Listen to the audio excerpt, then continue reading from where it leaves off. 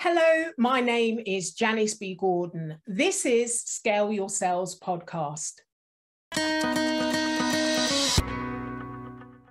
Welcome to the Scale Your Sales podcast, listed number nine of 42 best podcasts for every sales professional in 2021. I am Janice B. Gordon, the customer growth expert, recommended by LinkedIn as one of 15 innovative sales influencers to follow in 2021. In today's episode, my guest talks about her newly released book, Nine Ways to Develop Highly Effective Salespeople. Now, this is based on research she did for her PhD that uncovered that most successful salespeople are self directed learners. No matter how big or small your personal desires may be, my next guest's sales process will teach you how to position yourself as the solution for others so you can get what you want. She is a sales and marketing professor at Bryant University and co founder of RNMKRS. She loves to help people to grow and see their potential.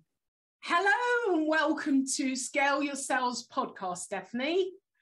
Oh, thank you so much for having me. I've been looking forward to this conversation, Janice. Well, I'll tell the audience I have been following Stefanie Boyer, PhD, for a long, long time. And I've been fighting to get her on here. And she, she's got so much great insight and knowledge to share with us. And it's just a shame we've only got 20 minutes to do it in. So I'm going to dive right in there because I know you're a busy lady and there's so many things that you're, you're involved in to do with sales. But the first thing I wanted to ask you was about rnmkrs.org and the bias free feedback. So tell me more about that because I think this is quite a new adventure for you. It is. It is a new adventure. And really, with that, I run the sales program at Bryant University and I teach the students how to sell. And the best way to teach someone how to sell is to get them to practice having a sales conversation. But they can't have a sales conversation with me all the time. Uh, I'm only one person, and I can't give them feedback on the conversations that they have with each other uh, at scale. And so Rainmakers, R-N-M-K-R-S, it's Rainmakers without any of the vowels.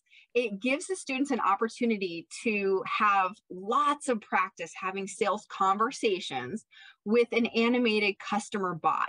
So you have a buyer that's in the conversation. The students read a case and they understand I'm selling uh, Dell computers to this fire station is what, what the competition is this semester.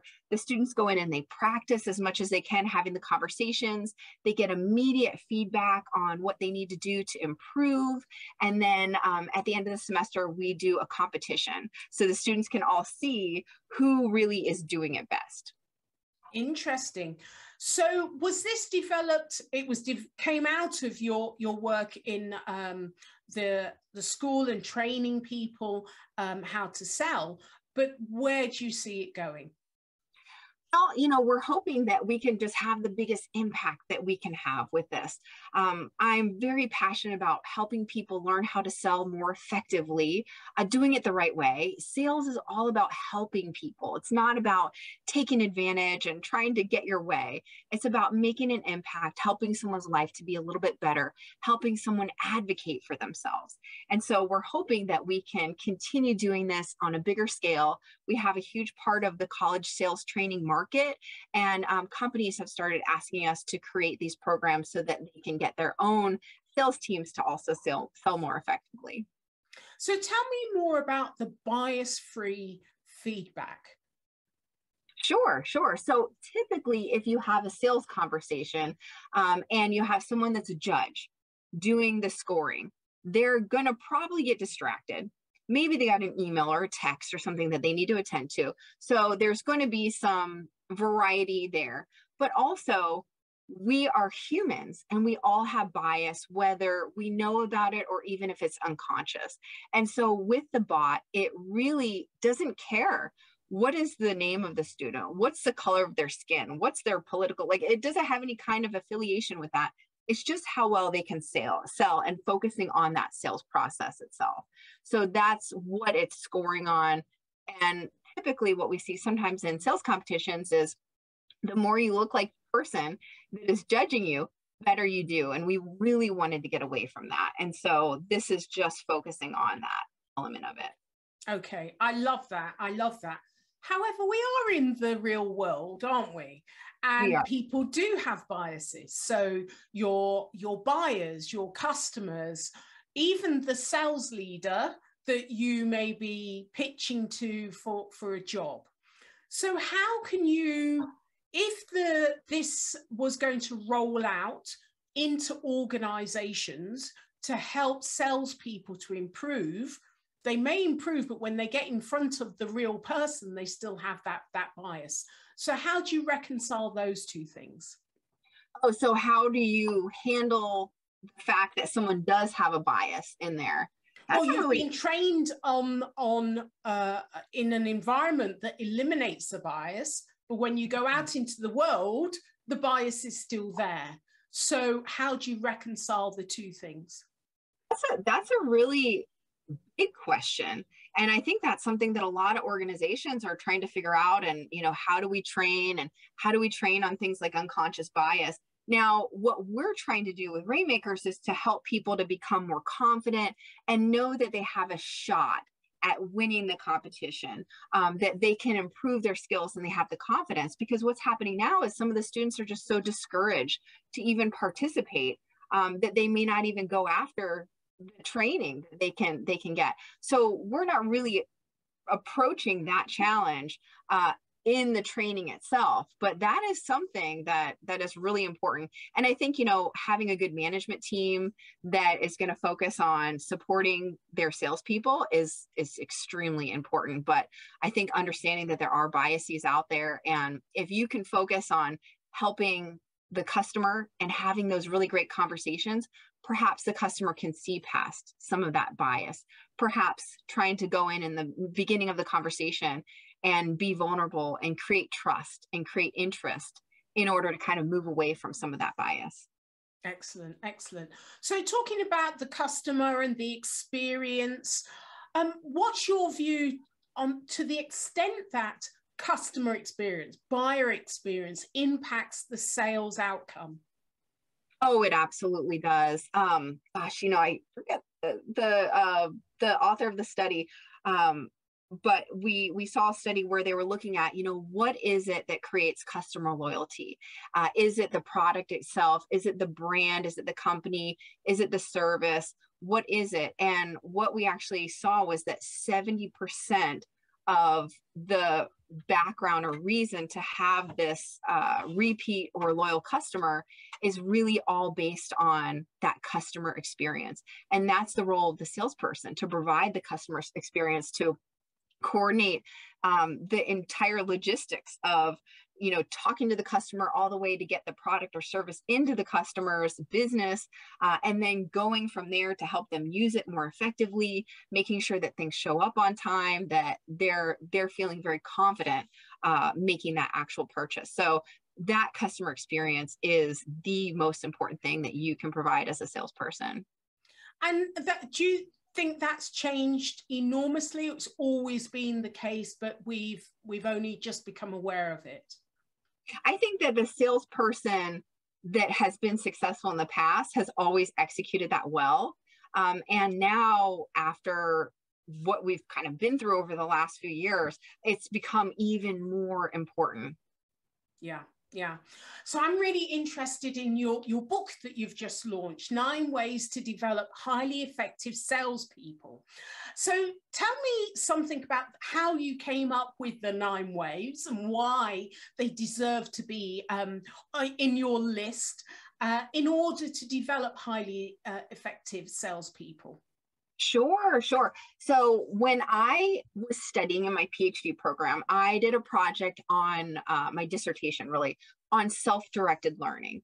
And what I wanted to understand really was why is it that some people are really amazing when it comes to sales, Um, and then some people, you know, they get to a point where they've had some success, but then they start letting the the foot off the gas, right? They they start um, you know, going out and just playing golf all day on Friday and taking a half day. Um, and so what we were seeing was once people got to that $100,000 mark, that six figure mark, now this was back in the early 2000s. Um, once they got there, maybe in 2005, they would stop working as hard. But then there were some groups that would just keep working. It didn't matter how much success they had, how much money they were making. They were very, very successful and they continue to learn. So, what we found was that people that were self directed were actually the ones that were really those top performers. And the people that were not self directed, once they felt like they were comfortable with their lifestyle, then they wanted to just relax. Um, so that really motivated me to start working with and working on this book because I understood that if you can use a self directed learning approach, you can get so much more out of your sales team. So it's really a lot about, um, you know, trying to figure out who the right people are and to train them. And we use some data um, that we found in the Rainmakers uh, program because we have these very robust profiles. So we brought some of that into it to help companies understand what is the mindset right now of that person that wants to be hired? Are they willing to relocate? What's most important to them? Is it compensation or is it professional development? Is it opportunity for growth? And what we found was that people want to grow in a company. They don't want to float around to company after company. They really want to grow and develop. And so managers need to learn how to support and grow and develop people on their team and really take an interest in them. And it might seem like common sense, but it's definitely not common practice. And then we talk about in there also the process, following an actual sales process or a buying process. There's so many companies out there and they don't even have a defined process of how they sell or you know how they talk to their customers or you know even using tools like MEDDIC uh, to to help to move the sell forward. Um, we also talk about practice in the book and how practice creates confidence and you can create an environment where you're promoting and, and supporting practice. Um, also do a lot of improv training and adaptability training. So, one thing that we know for sure is that everything is changing around us. And so, talking about how you can teach your team how to think on their feet and how to adapt um, to anything that happens, if you can train those skills, then they'll be ready for anything. And, and you know, technologies change everything's changing around us the customers the products um, the environment politics everything. So training some of these basic skills can help them to be able to adapt um, but none of that works if the employees don't feel safe so they're not going to give feedback. They're not going to put themselves out on a limb. They're not going to stretch themselves if they don't feel like they're in a safe, collaborative environment. So, how to create an environment like that, um, how to teach them how to use self directed learning, how to find mentors, and what that looks like. Um, also, being a good leader uh, as a sales manager, how to be a better leader, how to serve your team so that your team wants to stay with you. Um, and then we also talk about how to make sure that your plan is working, how to create sales training and, and a plan around that. And so we've used the data. We've used a lot of research that's out there in order to create the different items in the book. Excellent. That sounds absolutely fascinating. There's one thing that um, I I uh, would like to pick up on is through self-directed learning and what you said that actually salespeople do not want to move around; they want to stay and they want to develop. But it's interesting that the data says it's around about the two-year mark, whether you're a sales leader or whether you're a, a sales rep, you you move on. And actually, the industry is used to um, recruiting people that that move often. So the, the two things seem to contradict really. If the uh, the great salespeople want to stay longer and have a longer tenure, but actually the industry itself is used to this short tenure moving on and mm. having to rank people up again. How how is that reconciled? So that all comes with that leadership and having the conversations, investing in your people. So you're hiring the right people and then you get to know them and help them understand, you know, what does that career journey look like for them what do they want do they want to stay in a place and i think if if someone feels like i can be successful i have a path that's going to help me to get to where I want to go. You have to have growth opportunities for your team. Um, and the students that were filling out the survey over 2000, what was most important for them was growth opportunities and professional development. So they want to go to a place where they can stay and continue to get development. But what's happening a lot of companies is they hire students or they hire new employees. They go through a training the first year and then there's no more training. They don't do anything else. They don't have these company wide trainings. They don't have programs in place. So people are feeling like they're stagnant, like they're just their their skills are not getting refreshed. And I see that all the time from my students that have graduated. They'll ask to come back into my sales class and listen in because they're not getting any more training. So the sales manager is key in being able to take the time and talk to their people, find out what they want, and help them so that they can understand their path and to be successful and to continue to learn and develop. So we're seeing that the managers that are taking time to do that, that are creating that career trajectory or journey, they're able to get their teams to stick around. Yeah, that's interesting. We were we were previously talking about customer experience and buyer experience and how important, you know, experience trumps trumps price and product. But mm-hmm. that's dependent on employee experience and employee experience is dependent on consistency. So that means you need them to be there for more than the ramp up period for, for the year. So everything's uh, linked uh, together. If you can keep people, keep them motivated, then you're more likely to keep your customers as, as, as well. Customers hate it when someone they really like and they've engaged with and they've built up trust leaves. And often the customer leaves with the person. Absolutely. Yeah, yeah, that's absolutely right. You, you have that, you have that trust and, you know, you want to stick with what you know. Yeah, absolutely. absolutely right. Yeah, yeah. So, um, in your view, let's uh, talk a bit about diversity. You're training many people to um, in sales and launching them into this sales industry. Uh, and it's uh, talking about a very attractive career prospects, but actually they may then enter an organization that perhaps doesn't look like them, doesn't quite feel, you know, it isn't what they were expecting. So, what do you think the industry needs to do to, in, to continue to attract young, motivated, career orientated people? What do you think is going wrong and what needs, needs to happen in the sales industry? Sure. I mean, you know, you see all these flyers where a company looks like, oh my gosh, there's so much diversity. There's people that are here that look like me. You know, I see this all the time with my female students too. And they're just like, oh, there's so many women in the posters. I see this. Like everybody looks like there's so much like, you know, collaboration and everything. And then they show up and it's dominated and it's all white older males. And then they're just like, nobody looks like me. Nobody has the same interests as me. There's no groups in place where i feel like i'm a part of something. Everybody wants to go out and watch the game but i'm not interested in that you know and having these conversations that are really not who they are. Mm-hmm. um, so the companies are struggling. Maybe they have somebody that's coming out as a recruiter that's a woman or that looks like the person that they're trying to hire but then nobody else in the organization is like that. They don't see a person that looks like them in a leadership role.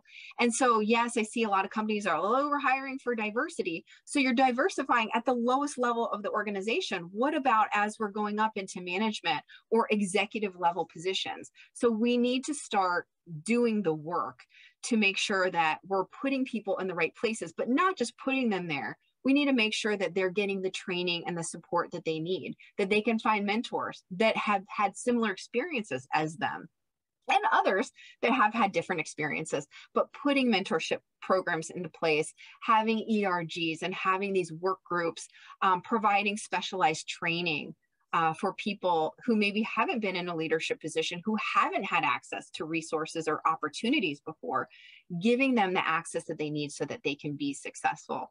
Um, that would be a great first step and putting more people into places all over the organization um, and giving diverse people a voice in the organization and a role in decision making. Those are all very important big steps. Um, a lot of companies are saying, like, oh, you know, we're hiring for diversity, but there's no metrics that are associated with this. So they might hire, they might um, interview many diverse candidates, but then they're continuing to hire the same people. So there needs to be accountability around building up and improving organizations to have diversity in their voices and across the board.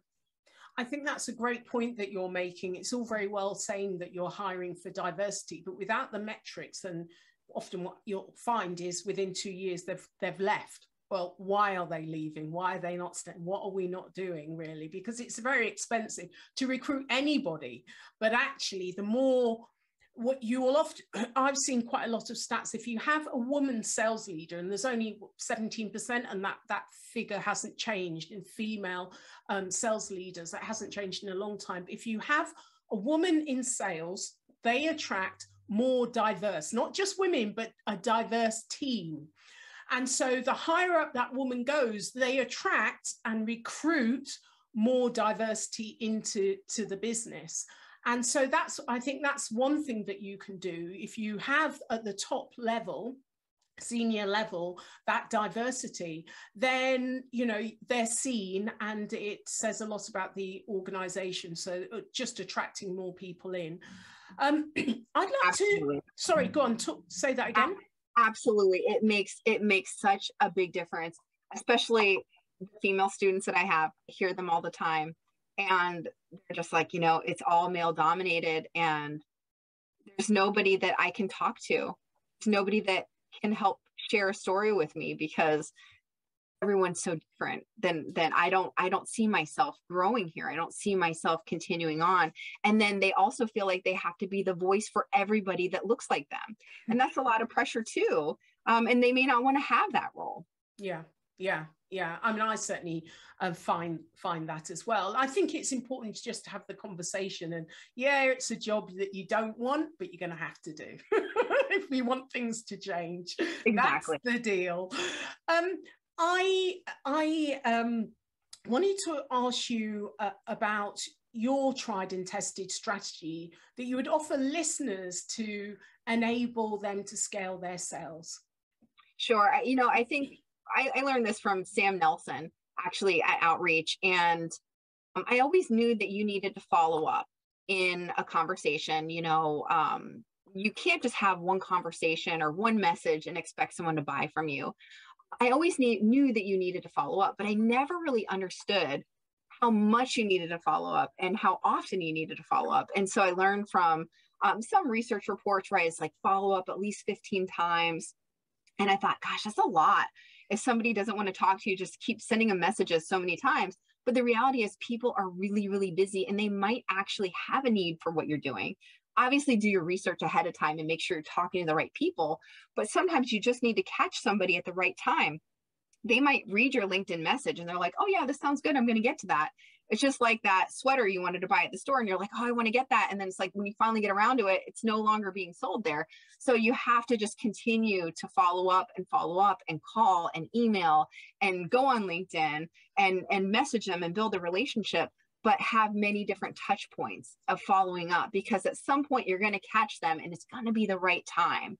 Um, you can make so much more money if you just follow up, but we're all guilty of going in, writing a couple messages, yeah, let's schedule something. And then life gets in the way. We never talk to that person again. And we could have really made a difference for them and helped them. But they're not going to come to us like, hey, what did what's that thing you wanted to sell me? They're not going to follow up, right? So it's really important to um, continue to follow up much more than you need. And I think um, Sam Nelson wrote this uh, a Goji sequence of how to follow up with um, LinkedIn messages, with calls, and with emails and I think, I want to say over the course of 30 days, um, there might be 20 to 25, I think, different protocols for following up with that same customer before you say, okay, clearly this isn't a good fit. I'll let you go for now and then maybe follow up with them, you know, past that. But within a month, he was suggesting, you know, somewhere in the ballpark of 20 follow ups to get them in, and it's making them a lot of money. Wow. I think you wouldn't normally do that you know in your mind you think 20 in a month that's kind of harassment you know? But actually because it's different touch points um, then it doesn't feel qu- quite so much. I think human nature would be that you would back off you'd feel that that's too much this is you know this is um, spamming now. Uh, and you need that data to continue to have the courage to go through what the human human nature would actually stop you from doing. The data is actually yeah. telling you that this actually this does work but do it through different channels. Don't constantly send the same email over and over again. That is and, and the big point is it's not always asking for what you want.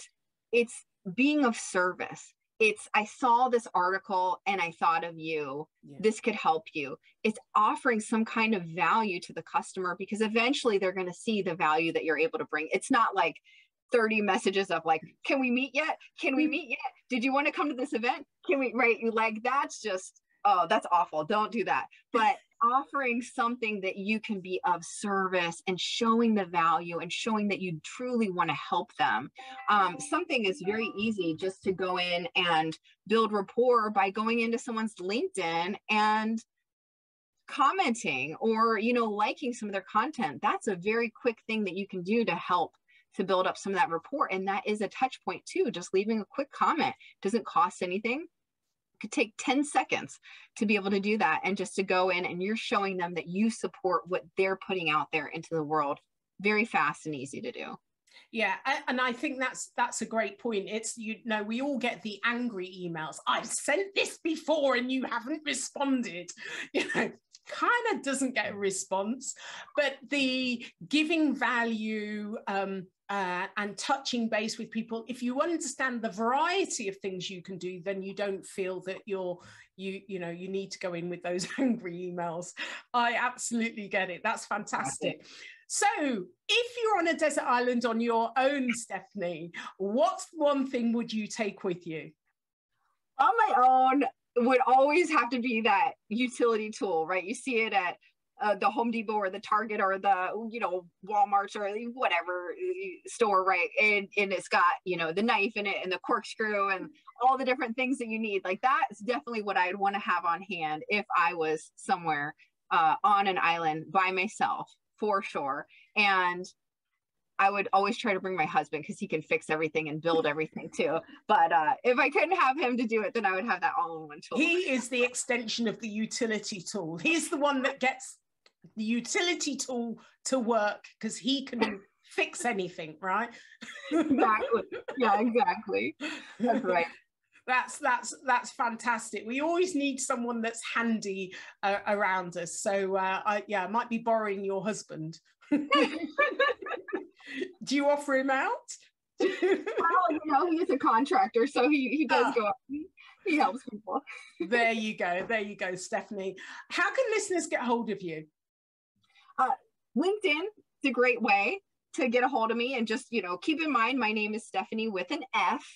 That's a great way. Um, or they can email me at sboyer at bryant.edu as well.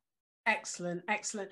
Thank you so much. I'm, I'm so glad I have had you onto a podcast because I knew that um, you're doing so many exciting things and really to invest in creating the sales leaders of the future by starting at the level that's really important and you're you know influencing so many young women into sales so i thank you for being on scale your sales podcast uh, stefanie boyer phd thank you so much. And thank you for all you're doing. You're making such a big difference, Janice. And uh, I am a huge follower of your work. I love what you're doing and I appreciate you. And thanks for having me on. Thank you. Thank you for listening to this week's episode of Scale Your Sales podcast. If you like this discussion, feel free to listen to other episodes or watch the caption show on YouTube and subscribe to future episodes. I would really appreciate it if you would leave a positive review on iTunes. Thank you.